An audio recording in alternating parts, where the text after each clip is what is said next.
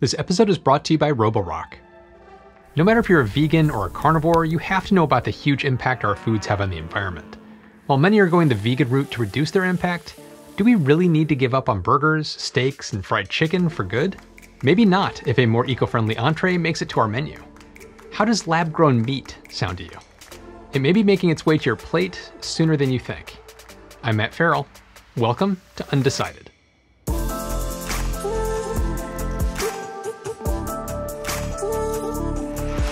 Back in medieval times, meat banquets were an exclusive meetup of the day for the aristocrats, while the closest a peasant could get to sheep was counting them as he or she fell asleep. In fact, meat based diets didn't become accessible until about 100 years ago, when railroads and refrigeration beefed up and allowed meat packers to go mainstream. Between 1961 and 2007, the consumption of meat doubled worldwide. The rising demand fleshed out small scale livestock producers into meat churning beasts like Tyson or JBS. While this meat feast topped up the dinner plates of a wider population over the past few decades, the planet is counting the cost of what's now an impactful obsession. So, what if you still want to enjoy a roast turkey on Thanksgiving Day without feeling guilty for the planet? Or for the turkey? You could go for a plant based meat with Beyond Meat and Impossible on the forefront of the oxymoronic vegan meat world. Thanks to a number of partners and investors, both companies are taking root all over the market, which was $1.4 billion in 2020 and is expected to grow to 13.8 billion by 2027. Founded in 2009, Beyond Meat already had 6,000 stores across the US 5 years later.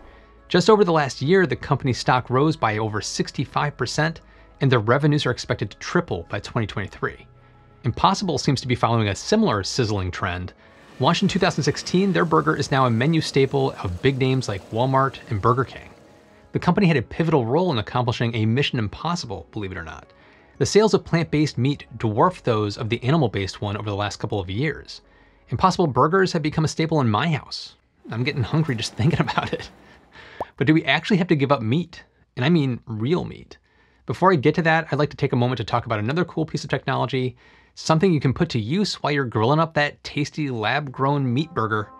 While you're cooking, the Roborock S7 can be mopping up the kitchen. I've been really impressed with the S7 robot vacuum, which is also an intelligent mop. When it's mopping the floor, it's scrubbing it 3,000 times per minute. The thing that's impressed me the most is how it uses ultrasonic sound to recognize carpet versus a hard surface, so it automatically lifts the mop. The S7 has an all new rubber brush, which is more durable, quieter, and avoids getting tangled up with hair. But the coolest tech, for me anyway, is the LiDAR mapping system. It creates a very accurate map of your house and each room, even across levels. This makes it super easy to set no go zones in the app so you don't have to worry about knocking over a dog bowl full of water. If you're interested in getting the Roborock S7, which I've been very impressed with, check out the link in the description. Thanks to Roborock and to all of you for supporting the channel. But do we actually have to give up meat? And I mean real meat?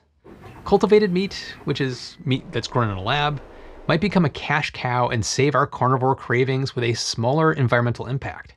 In fact, there could be a growing appetite for it in the future the industry could be worth up to $25 billion by 2030.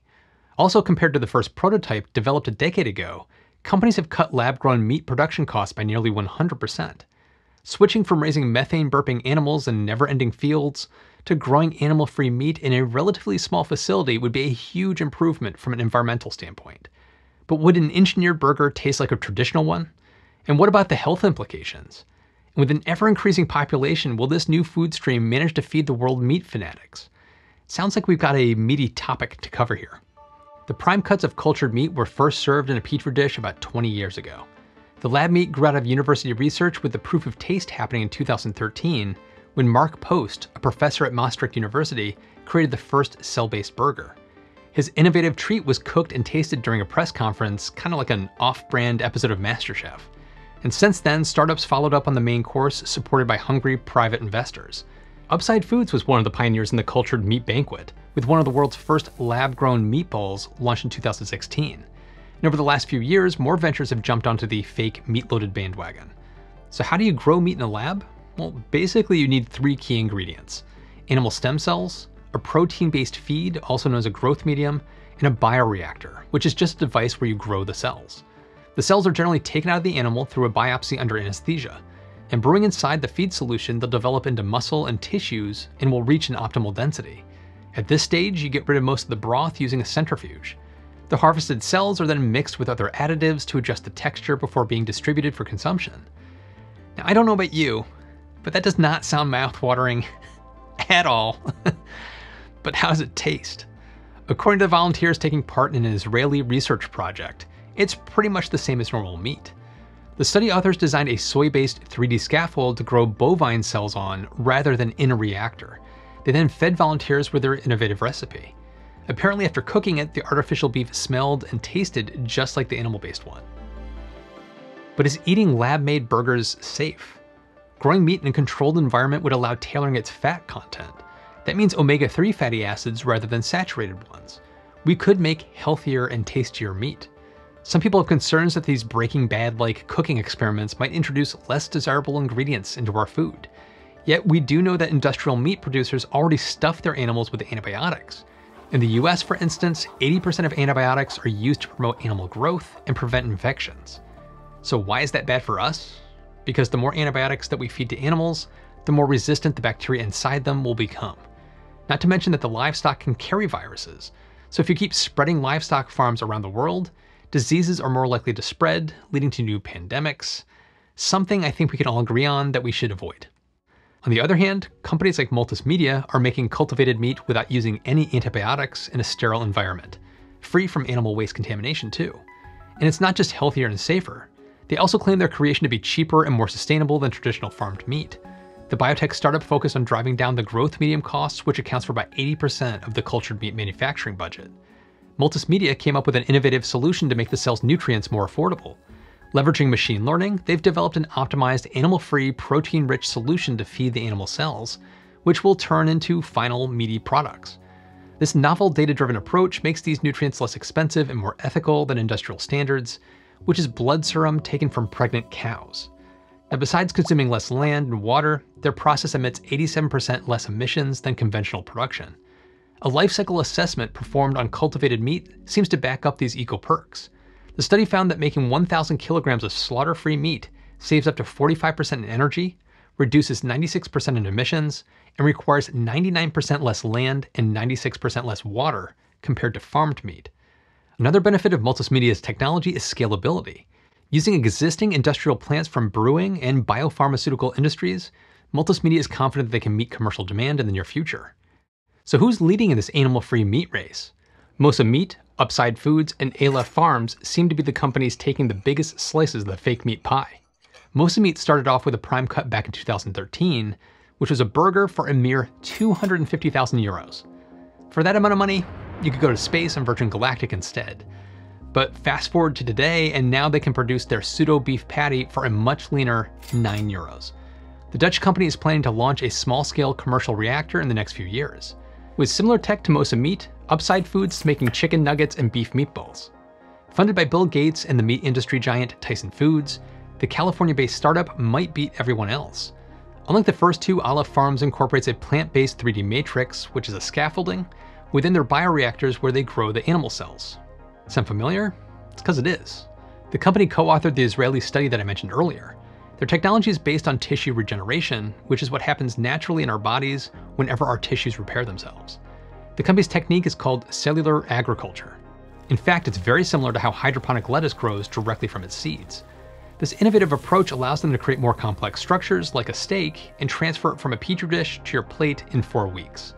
Still, they won't scale up the supply chain for another four years.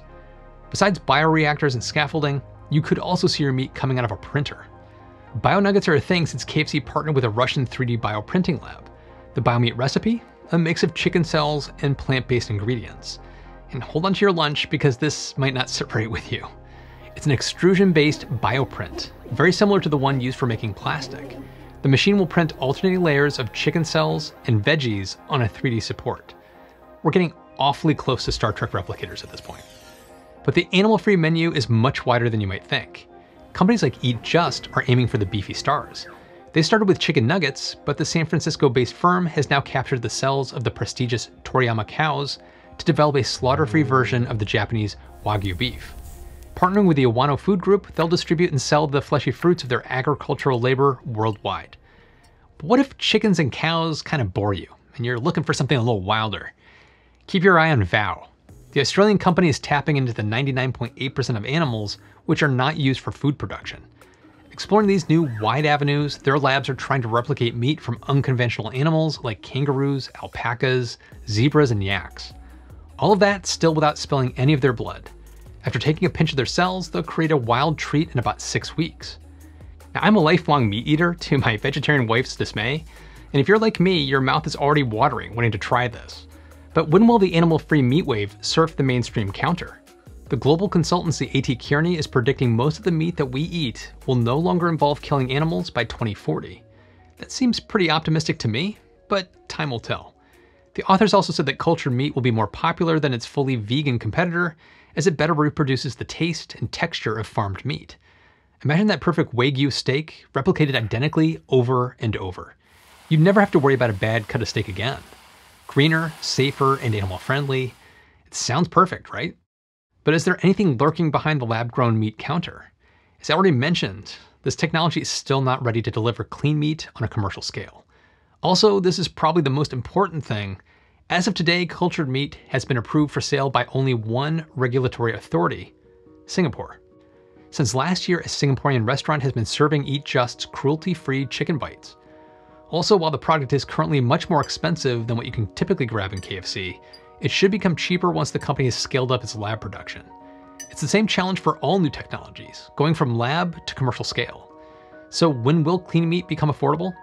At the moment, the Israeli startup Future Meat put the lowest price tag on a piece of lab grown meat. The company sliced in half their chicken breast production cost in a few months, going down to $4 for just over 100 grams.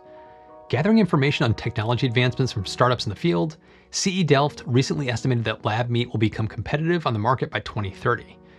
Other than technology limitations and costs, swaying consumers' choice could be another big challenge. A recent survey, including 1,800 people in the US, showed that 72% of them still prefer farmed meat to cultured and plant based alternatives. While animal based meat has been a traditional staple for decades, it's an inefficient luxury. Cultured meat could be a feast for our society, preventing both world hunger and climate change. It's a win win, with a whole bunch of caveats. Although it's still at an early stage, lab meat technology has grown rapidly over the last 20 years, and it might be on our dinner plates sooner than we think. And if and when I'm able to get my hands on some, I'm gonna go visit a friend of mine, Al, from the YouTube channel Eat More Vegans, to challenge him to cook something tasty up. Now, would you wanna eat lab grown meat? Jump in the comments and let me know. If you like this video, be sure to check out one of the ones I've linked to right here. Be sure to subscribe and hit that notification bell if you think I've earned it. And as always, thanks to all of my patrons. Joining my patron membership really helps to support the production of every single video. You also get access to each video early without ads, and I hold monthly Zoom calls for higher level members and producers. There's a private Discord group, and you can help influence what topics get covered. Go over to patreon.com slash mattferrell to learn more. I've also got that link in the description. And even if you aren't a patron, you're still doing something absolutely awesome. Watching. Thanks so much. I'll see you in the next one.